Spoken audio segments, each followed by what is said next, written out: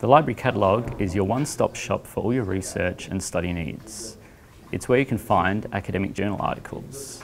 You can even save the articles you need into your own library to easily reference and keep everything in one place. If you need a textbook for your class, you can search for it in the library catalogue. If all the copies are checked out, search for older editions. You can use the library catalogue to search for a specific topic and filter down your search results. And if you need help, there's library support available right in the catalogue.